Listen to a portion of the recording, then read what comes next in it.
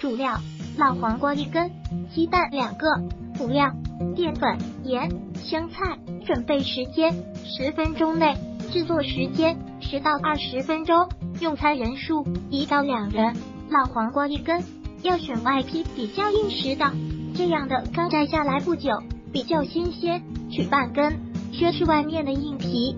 老黄瓜一切两半，去掉里面的籽，用削皮器把老黄瓜刮成长条。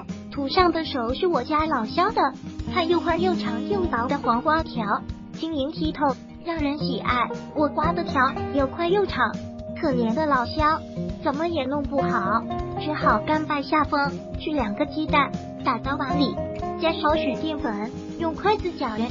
香菜一绺洗净，锅里添汤烧开。你也可以用高汤，比如骨头汤，但是因为天气炎热，这次我家就想喝可清淡的，所以加的是清水。水烧开后下黄瓜条，待再次烧开后打进搅蛋液，最后撒点盐和香菜末，这个汤就 OK 了。非常简单，非常快捷，非常美味。烹饪技巧。告诉大家做甩袖鸡蛋汤的秘诀：一、鸡蛋里加少许淀粉两，水开后把蛋液沿锅边倒进锅里，千万不要搅动，一搅就碎了，这样就能做出又大又薄的蛋花汤了。如果喜欢本视频，请订阅本频道。